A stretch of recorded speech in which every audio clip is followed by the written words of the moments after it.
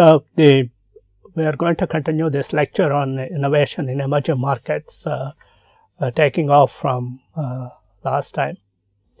Uh, what uh, we did last time was uh, we defined what are emerging markets. These are countries like India, China, Russia, and Brazil, and so on, the BRIC countries plus several others. We have list shown a list of 31 countries, and there is the we also defined uh, uh, two kinds of innovation, new to the world and new to the market kind of innovations. And we said in emerging markets, uh, new to the market kind of innovations are more needed because they are developing economies, economies and the infrastructure is weak. And so whatever uh, are the developments, either cell phones or uh, uh, or packaged food or whatever innovations that has happened in the developed world can be transferred here and vice versa. And we have developed an innovation framework for, for this. And we also considered under the ecosystem framework, we also talked about co-evolution and we also talked about uh, conflict in the innovations and so on. So we also considered uh, the four innovations in innovations in supply chains and resources and delivery mechanisms. So today what we are going to do is uh, to talk about uh, the innovations uh, uh, in the institutions. Institutions are governments and social groups and they matter a lot nowadays and in terms of because uh, the after the financial crisis, governments are taking a, a very active role in felicitation of various activities in uh, uh, in the world. So basically, we'll talk about what are the innovations that are possible in institutions, and I'll take a do a case or an example of the telecom growth in India. Telecom growth in India, if you look at it, uh, I'm going to present that it is the result of innovations both in institutions as well as by companies. So, this is an illustrative case where companies and countries can work together towards uh, innovations and building a blockbuster market. So, and we'll conclude this lecture. So, what are the innovations in institutions? So, what is the role of government? The capacity of a nation to innovate is the cornerstone of productivity. I mean, there are several examples of countries who have taken, uh, for example, uh, the countries like Singapore and uh, countries like Finland, which has invented the basically the a cluster for cell phones and so on, which have changed their economies. So, I think the countries should know where their strengths are and try to do the corresponding innovations. What is innovation? It refers to the country's ability to upgrade business environment continually, to support and encourage its companies to be competitive both nationally and internationally. So, what we are having is innovation in a product, innovation in a process is our innovations in resources. They are different for innovation in the government. Government need not have to invent the products, but it has to have a business environment that supports and encourages the companies to be competitive and both nationally and internationally. And it is also support the educational institutions and other R&D institutions, which will basically innovate new products and processes. Earlier, the governments were running the companies, but now most of the governments are going out of this because after the liberalization, so-called privatization has happened and after the privatization there must assume new roles. What are the roles the government should have? They should be catalysts of market development, enablers of productivity and efficiency. How do you, how can they enable the productivity and efficiency? They can enable the labor productivity by having skill-based trainings as well as educational institutions and as regulators ensuring markets remain open and equitable. So, this is one of the uh, things of all the telecom regulators, every regulator that promoters of private sector expansion. by providing funds, by providing the education manpower, by providing all the facilities like power, water, and by promoting special economic zones and so on, and stimulations of human capital for resource, common capital resource development. So basically, they, they should start the education institutions, skill development institutions, have the infrastructure and all that, and provide a business environment for companies to grow. That's what it means.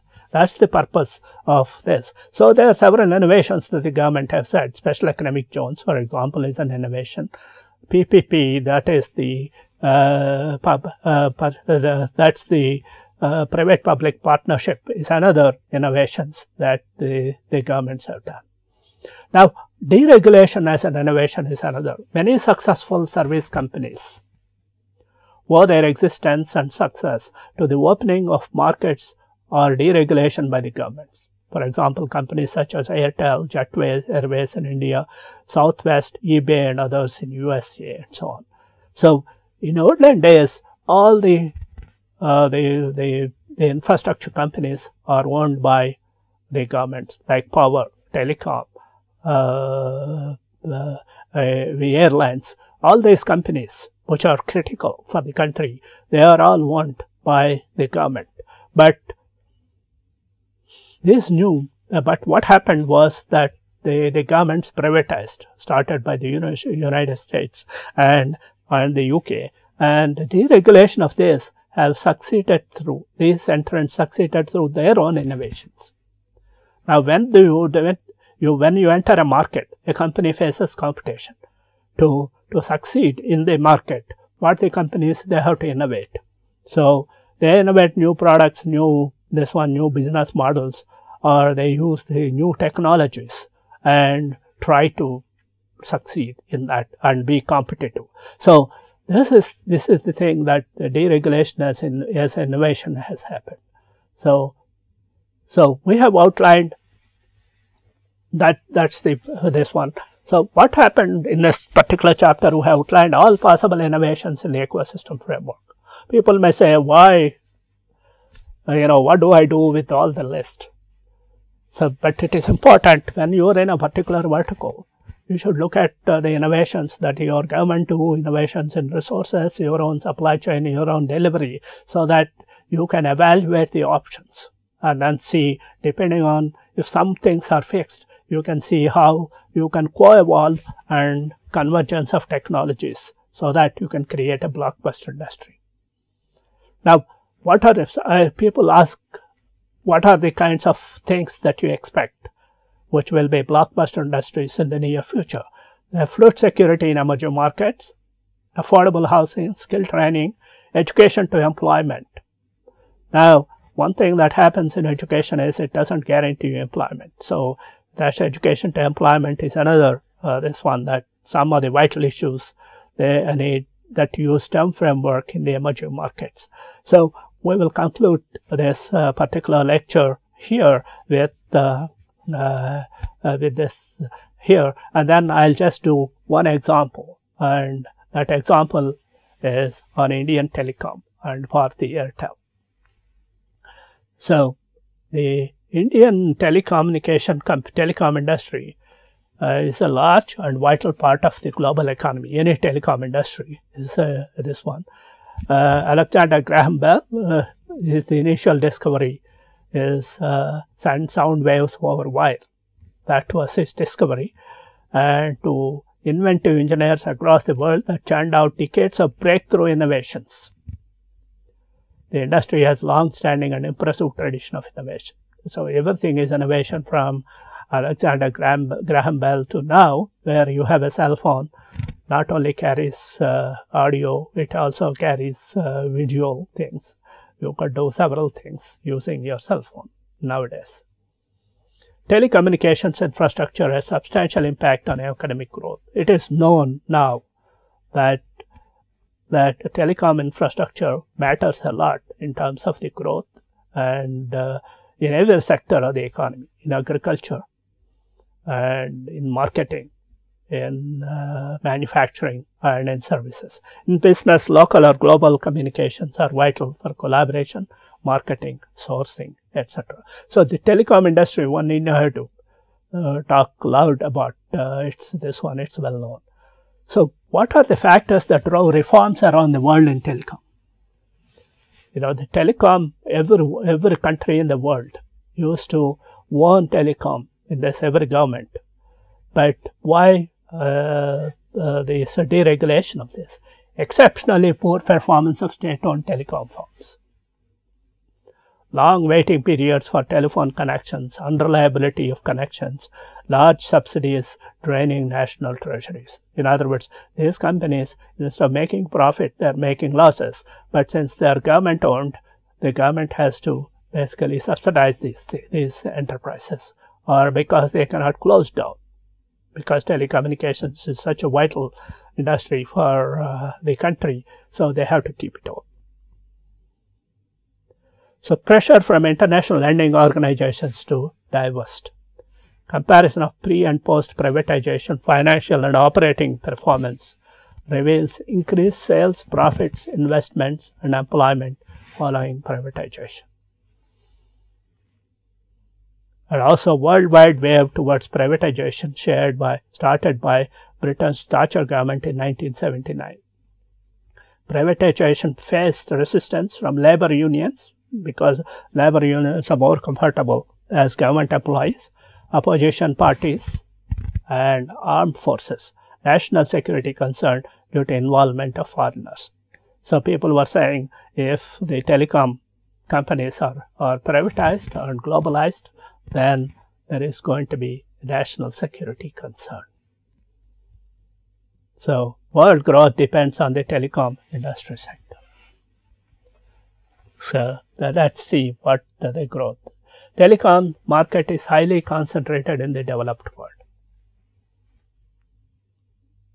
And in the developing countries, investment in telecom infrastructure is considered a necessary foundation for economic growth. Privatization has also is, has been done to meet the WTO obligations. Several countries are me me members of the WTO, and WTO has ruled as privatization of the telecom. This one and several countries have liberalized their telecom, this one, and the growth has been phenomenal since then. In a landmark fact, 68 countries, which control 95 percent of world's market, have agreed completely liberalize their telecommunications. But of course, now there are problems with uh, with the IT, uh, you know, Facebook, uh, LinkedIn, and all that. What you say there and what this one that is different from having a telecommunication link. In other words, having a telephone is vital and how you use it. Having an internet is vital, but how to use it is a different thing. So there are a lot of restrictions on how to use this facility. As long as you use it in the internet fashion, there should not be any problem. So if you want to map uh, the telecom uh, uh, ecosystem. How do you map it? What is a telecom ecosystem? I mean, it all depends on what players you are talking about. Are you talking as a subscriber, that's what you have, or you are talking of the telecom ecosystem, telecom uh, subsystem itself. So let's look at the telecom system. So if you have a telecom system, this is called a service chain. There are supply chains and service chains. Usually supply chain term is used for goods transfer. Whereas service chain is used for when there is a service transfer across the network. So basically you can see that there are voice, voice and data customers like you and me who use voice customers. And they're network operators like we have so many network operators here BSNL to Airtel to and others. And they are infrastructure providers. I mean there are all kinds of towers uh, and other equipment uh, that are needed uh, to uh, uh, for this or, or the telephone cables either optical cables or whatever underground cables that infrastructure provides, the towers in case of Wi-Fi and all that, and also the manufacturers of this equipment, cables and others. So you have the manufacturers and the manufacturers provide to the infrastructures and network operators and voice data customers that we have. So whether they're linked or not, they're linked in, in some fashion, but they could be independent operators, each have their own supply chain of the other. In other words, if you are a voice and data customers, you have to have a, buy a cell phone, you have to have a connection from some somebody, and then you have to pay the bills and all that and uh, use the network and so on. So that becomes your problem. So the the telecom service chain has this, and similarly the infrastructure. If you are providing the cables, or if you are providing the towers and so on, then they they depend on the manufacturer and other laborers to to use this, and also the cost and other kinds of things. The network operators are the interface between the customers and and and the network. They basically they may not own the infrastructure, uh, but they use the infrastructure and they will have a deal for this. So the network operators are the ones that are most visible out to to the data customers and they are responsible for providing these facilities. Here. So if you look at uh, the institutions that there are lots of institutions because telecom activity is a very sensitive activity. It's a very important activity, but highly sensitive to the national interest. So there is telecom uh, regulatory authorities, uh, whether it is India or some other place. There are lots of government regulators, and there are quality, social, and climate issues. Of course, you have uh, particularly if you are using wireless, then it's supposed to there are lots of uh, health issues concerned with cell phones and others, and there are other social issues and FDI policies for entry of foreign. When you are globalizing this, the infrastructure providers, if you want them to come and provide the infrastructure that the network operators and the manufacturers, then you have to have foreign direct investment property uh, entry for those. So you have to have regulations to, to be changed to allow the telecom operators to this. I mean, it's important. One should recognize that in India, after levelization, the there each month one crore new customers, new customers are added in the telephone in the previous years. So the tele density has is almost like 80 percent. That means 80 percent of the people in India, whether rich or poor or whatever, they have a telephone connection or a cell telephone. So these are basically the issues that uh, uh, that one need to one need to consider. So the FDI policies uh, for entry of foreign companies these these are needed. And resources. What are the resources needed for the telephone companies? There are, of course, finance, insurance companies, skill training, education, and so on we need equipment manufacturers here, the equipment manufacturers who, who provide this and universities, R&D and so on. They are needed because there is a lot of research that is needed in terms of materials and so on. And of course, there is a, uh, there is the power and water and other issues. And then, of course, in terms of delivery infrastructure is a very important thing. There's contract manufacturers for cell phones and content providers for advertising because there is advertising that's used using the telecom this one. The retail chains for example if you are using a cell phone there are retail chains who sell basically the prepaid uh, the top ups and so on and all that. So if you are looking at the telecom ecosystem it's a very interesting ecosystem which you can map. So you can take if you are using uh, some other uh, a particular uh, this one like Airtel or BSNL, you can take this and more particularly map the ecosystem for that. Right. So that should be a very interesting exercise to map the telephone ecosystem where you have the service chains, resources, institutions, and delivery service mechanisms. So the growth of uh, the wireless subscriber base in India, you can see from 2001 to 2010, there are around 636 million subscribers. India's population is 1.2 billion and this wireless subscribers, there in addition to the wireline, wireless, there are landline subscribers and so on. But more importantly, you should see the growth. You should see the growth of uh, this uh, particular thing from 2000 to 2010. So this is this is a phenomenal growth that is seen in anywhere and in India where the telephone, I mean 10 years ago, the telephone services are not uh, very, very good, but today everybody has a cell phone. So the Indian telecom growth has been phenomenal. It has been adding one 15 to 20 million subscribers every month. And the wireless segment in India is much larger than the wireline segment. And the rural markets are expected to be the next key drivers. So if you look at India, it has about 400 million people in the urban areas and 800 million people in the rural areas. So if it, if it percolates it to the rural areas, then uh, the growth is going to be this one. I mean, another thing one should one should recognize is uh, communication is important for everyone, but the telephone gives you voice communication. Now, voice communication is more important, particularly when people are not educated. They know, they don't know how to read and write, but they know how to speak and they're intelligent enough and they're communicators. So, convergence of several ecosystem innovations is responsible for success of Indian wireless industry.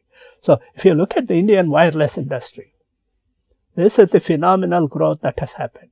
Uh, why did and how did this happen?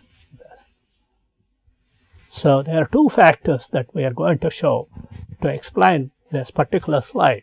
And that is the innovations in the government, particularly in terms of deregulation. And second thing is innovations from the companies in the changing in the business models. And so on. So basically that's what this slide is about. And so what are the innovations in uh, telecom ecosystem from the government and companies? So we're going to look at this, uh, this one. So the deregulation of uh, the telecom that has happened, the government has deregulated the telecom industry and with many positive policies. So it used to be completely owned by the government. It used to have uh, landline. It owned the entire network it used to have a telephone company which manufactures the uh, the, the phones and so on. So it is entirely the government owned. So people used to say you take it or leave it, and you have to wait for years for uh, for getting a landline connection. So the landline connection used to be a big problem, and thus people wait. But what happened with the deregulation? It allowed private and foreign players to set up shops through FDI independently or through joint ventures. So there are a lot of foreign players where from developed countries where the market has been saturated. They were invited into this and they created special economic zones to attract equipment and other manufacturers. So the special economic zones as I told you in the last class, that they are zones where they have power, water, and all the infrastructure, everything.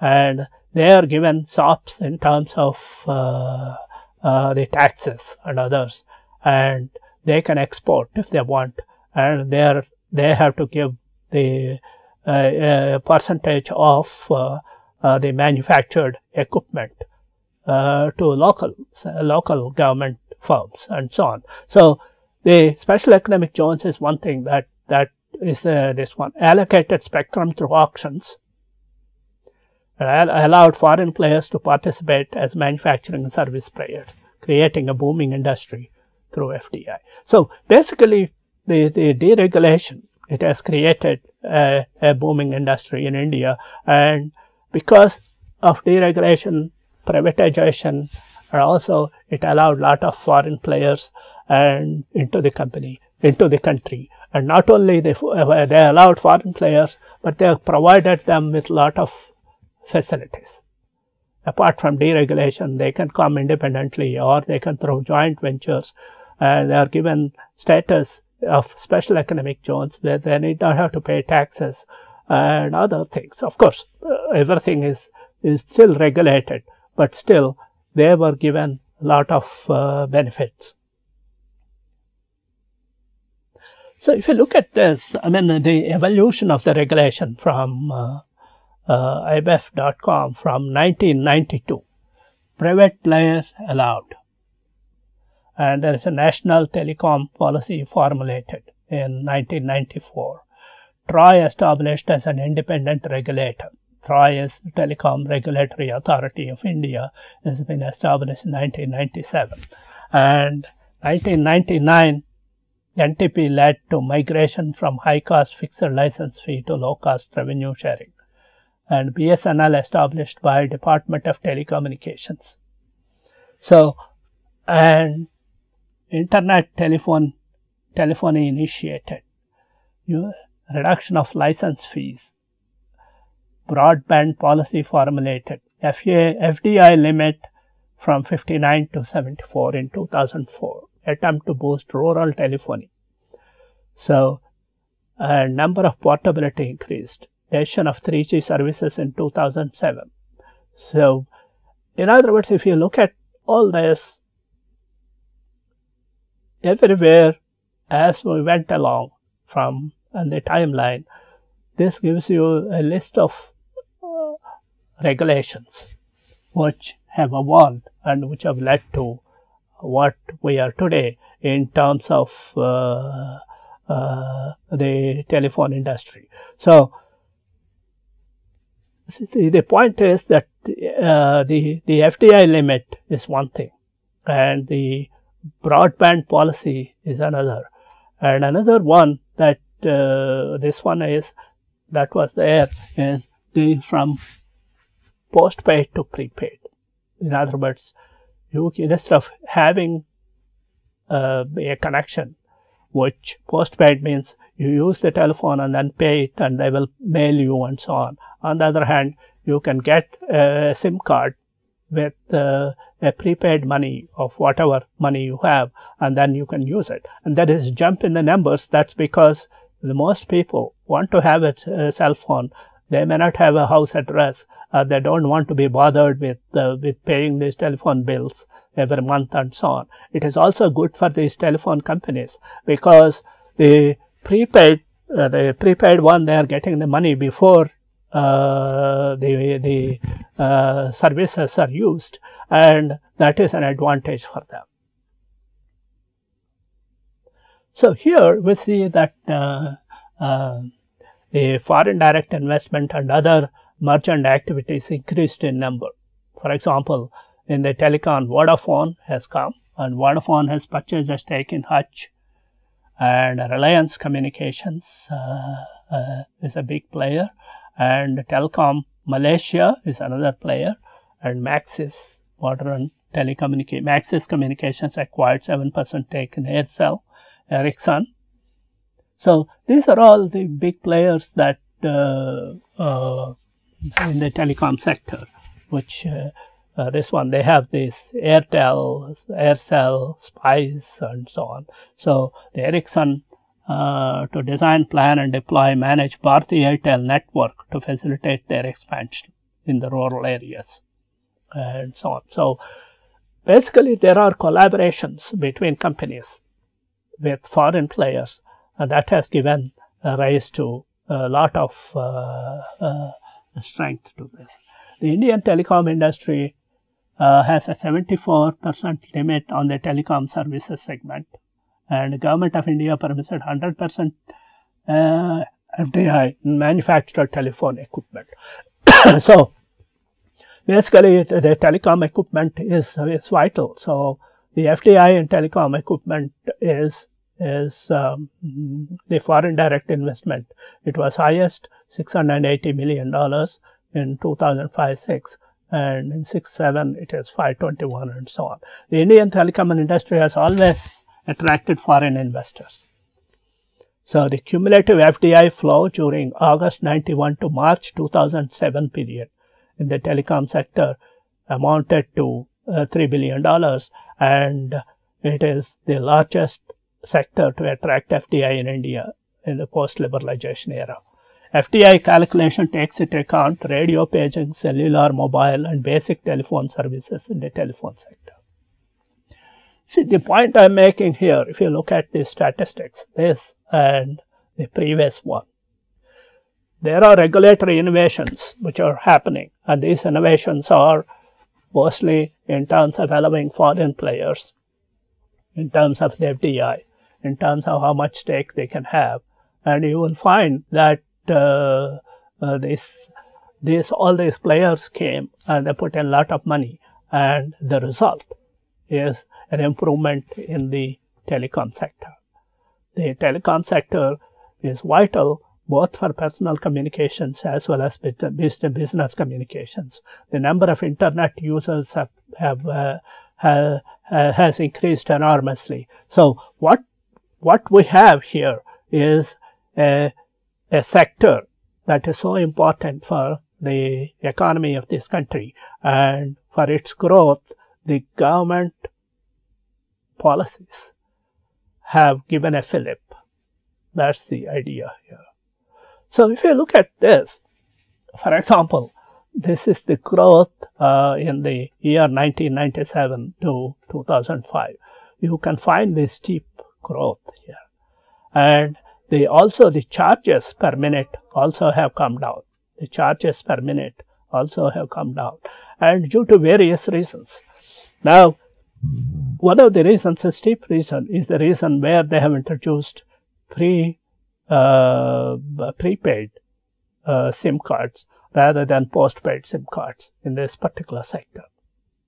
So, so several of these innovations have come into this, into the affair. So, we have seen so far the innovations by the country, that is the India, how it's basically in terms of three or four factors. One is deregulating the industry. Second one, that means instead of by the government, it can be private companies. These private companies can be either Indian or they can be foreign companies. And foreign companies are allowed foreign direct investment. They include infrastructure companies, they include the manufacturers like cell phones and others, and they were given FC's SEZ status in some of this. So Basically, the government has done several things uh, by liberalizing the economy at various points into to to get the booming uh, tele telecom sector. Now, it is not enough if the government does it. Government does the, all this as a facilitator, but it is the companies to take on and take these things and improve further. Because ultimately, where do you get your service from? you also get your service from the companies. So let's look at what the companies did in this particular case. So there is this what is called supply chain innovation. So the major innovation in this industry came from creating quality with product redesign at affordable cost with features of voice, text, picture, games, etc. Now if you take a cell phone, the, the cheapest cell phone today is about 1000 rupees, 1200 rupees. You get a phone with all the features of voice, text, picture, games, etc. You can SMS, you can receive calls and so on. Now, how is this possible? Its product is redesigned at affordable cost. So, who is responsible for this? Industry. So, the industry came up with creative product. It may not be a new cell phone. It is the same product, same, same designs, but how do you make it cheap? This is like Tata Nano. How do you make a cheap cell phone, which is affordable in 1000 rupees? Of course, if you want to pay more money, you can get it up to uh, any amount of money. This created a contract manufacturing industry in India with Nokia, Flextronics, and the likes playing a key role. So they are given an SEZ status in Chennai and other places, and this has created a, a big industry. There were marketing innovations such as prepaid, family and corporate connection discounts, etc., that led to obtaining a large share from every customer. So these are the marketing innovations like prepaid. These may not be, you know, product process innovations which require a lot of research and so on. It's basically smart moves by some of these companies by knowing that people you know they don't want to get a telephone bill they don't know how to pay and all that. So all that is whenever they have the money they fill in the the, the sim card and use it. So and these cell phones have have replaced lot of other things in this. And of course the landline connections in india is almost like uh, one fifth or one sixth of what uh, uh, what the cell phones are so if you take Reliance, for example, it's a company which has this. It asks the question. It has, actually, it has one which has revolutionized some of the markets. Do not ask how large the market is, but estimate how large it can be made to be with an appropriate intervention. How can you, how large can you make this market? This is like Tata Nano car. When do you have a big market for this? If I give a car for 1 lakh, what is my market? So, if, if you are a, a, marketing professional and when the cell phones are being introduced into the country, how do you estimate the market? You estimate the market saying that, oh, there are so many landlines, half of people will shift here and there will be some some people, corporates will shift into cell phone or with all this you will get some number. And that number will be probably the same line, same thing as the landlines, number of landlines.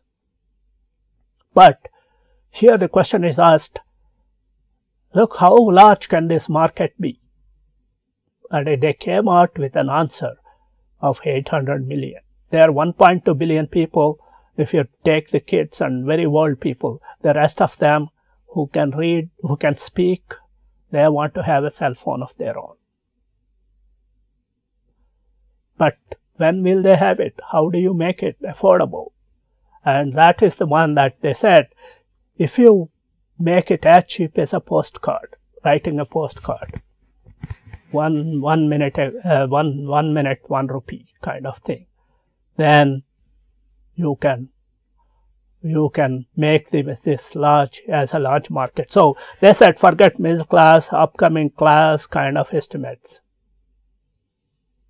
So tell me how much, how large it can be, how many people can use the phone if I can make it, make it happen. So that is how the Reliance came up with an estimate of 800 million. And that is the correct kind of innovation at this one. This is, you can call it marketing estimation. But that has led, led to uh, a blockbuster industry. And the second thing that Uh, uh, Airtel has done is what we call unbundling the corporation. This is a, a famous paper by Hagel and others. It's unbundling the corporation in Harvard Business Review. But my interpretation of what Airtel did is that they have unbundled this corporation.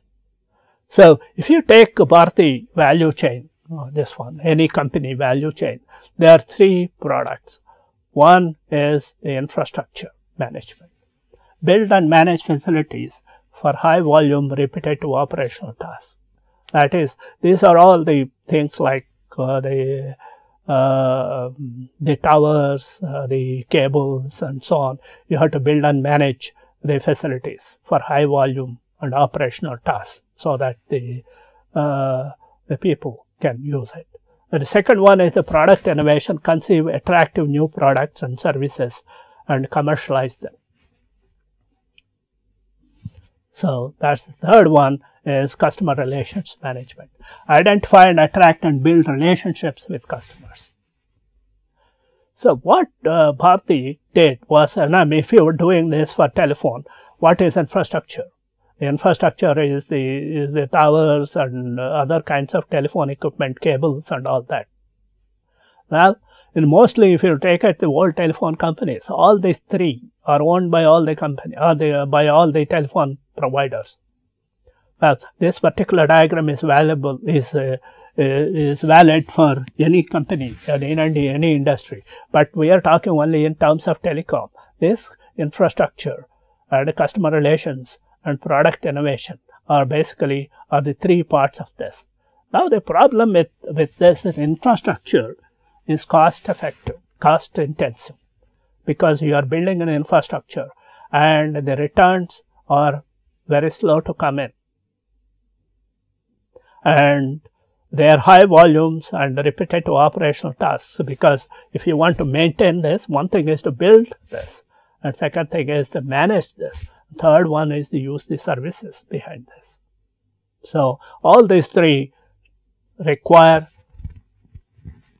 lot of money, it is asset intensive and it requires a lot of maintenance. It requires people with low skill, well trained labor.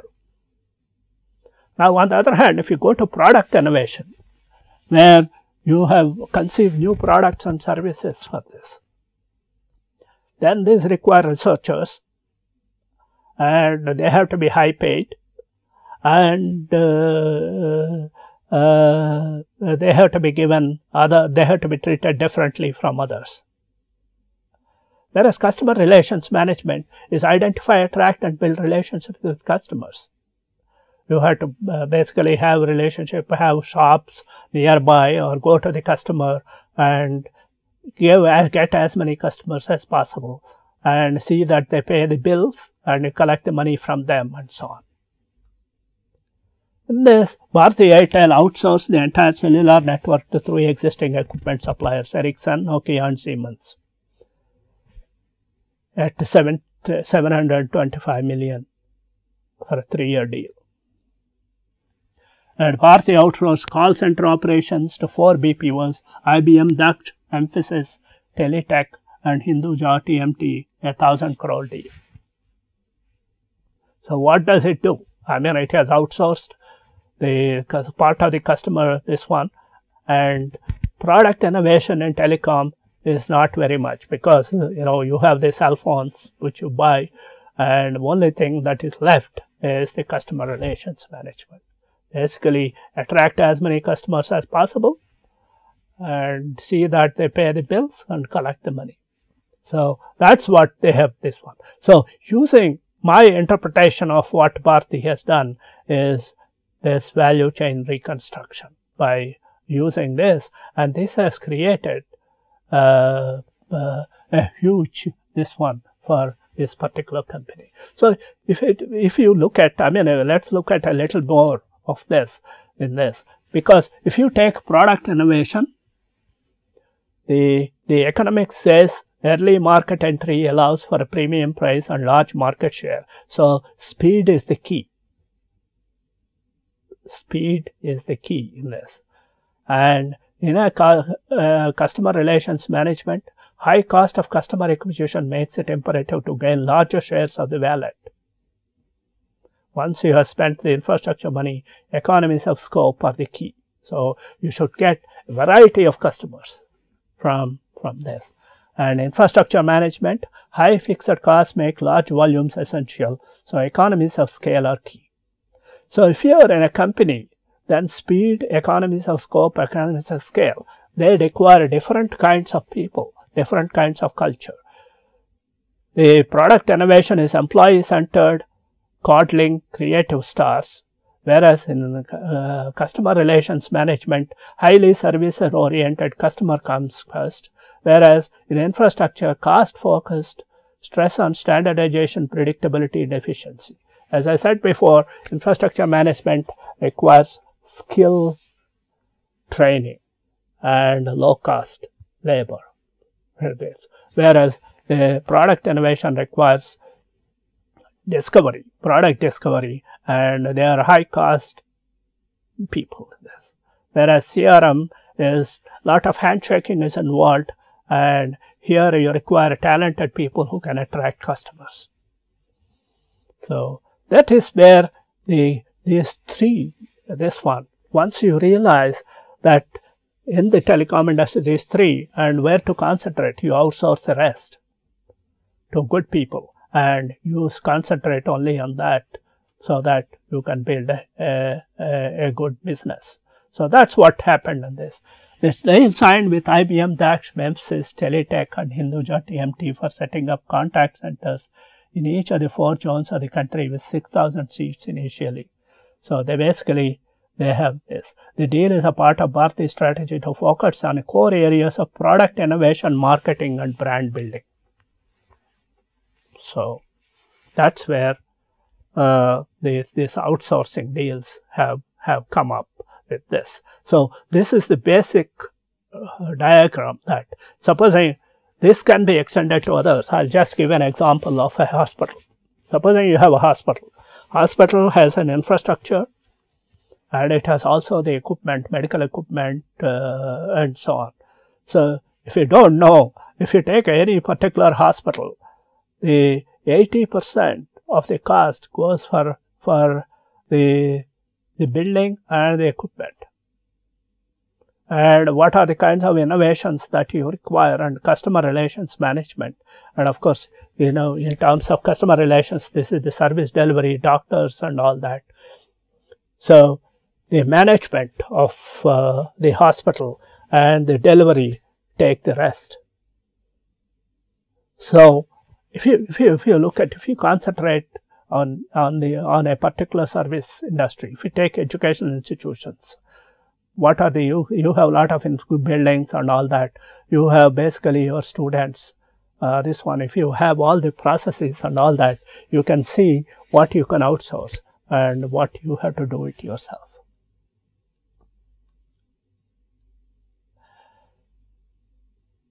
So, if you, if you look at uh, the Bharti, uh, the core product innovation, marketing and brand building are the ones. So, what we have here is all dimensions of service ecosystem need not be important to all the industries.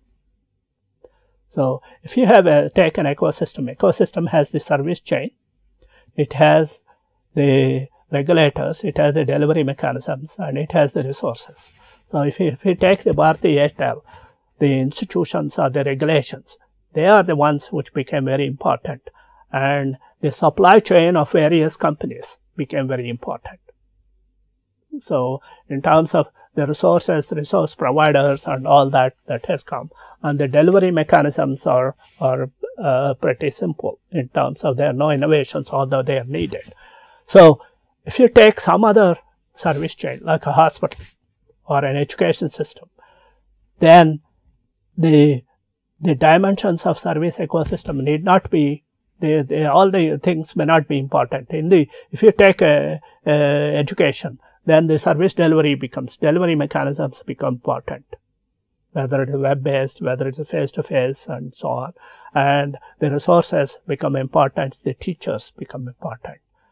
And the institutions may not be that important because the all the uh, rules regulations are are made one time and they need to be followed so it depends on the service service chain that you have and in the telecom case deregulation and privatization are led the way for creating a blockbuster innovation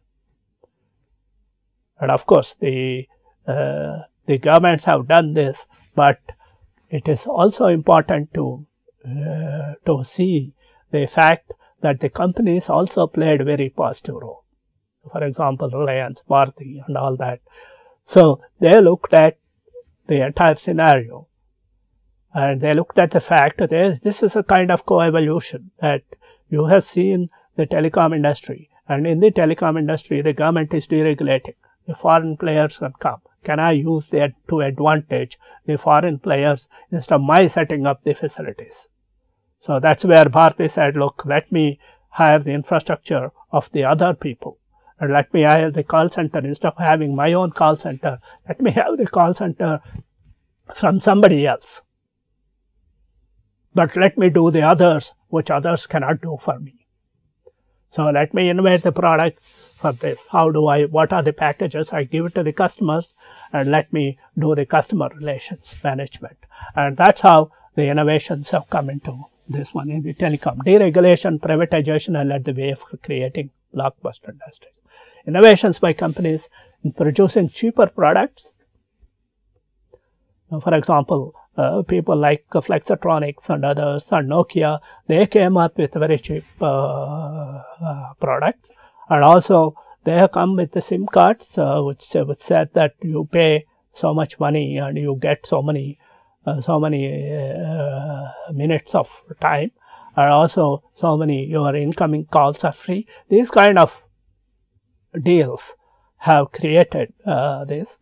And of course, outsourcing has uh, created for uh, Airtel, the outsourcing is one of the prime things that they have done and business model innovations are other contributing factors for uh, this. So, what uh, we have uh, done here in this uh, lectures is that in the innovations in the emerging markets, uh, this we have first defined the emerging markets and we have said that in emerging markets, a successful innovation is one which creates a blockbuster industry.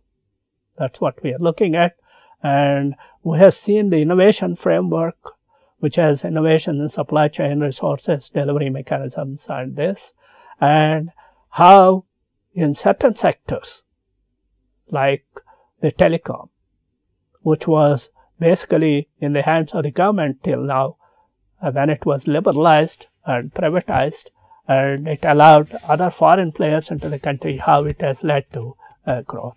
I mean, you can you can take other sectors of the economy, or uh, other sectors like education and others, uh, or healthcare, uh, to see mm, what they are doing. I mean, every sector need every sector has not uh, uh, prospered as much as the telecom sector But the telecom sector has um, that's that's a sector which is where information and communication is basically vital for the growth of uh, both individuals as well as companies as well as countries. But there are other sectors like education, skill-based training, and food security, which where you can use these technologies and these kind of ideas and create blockbuster industries. One of the things is I am going to do in future classes is for food security using the current players like the hawkers, like the Kirana shops. How do you create a blockbuster food security industry? So we'll do all that in the next class. Thanks.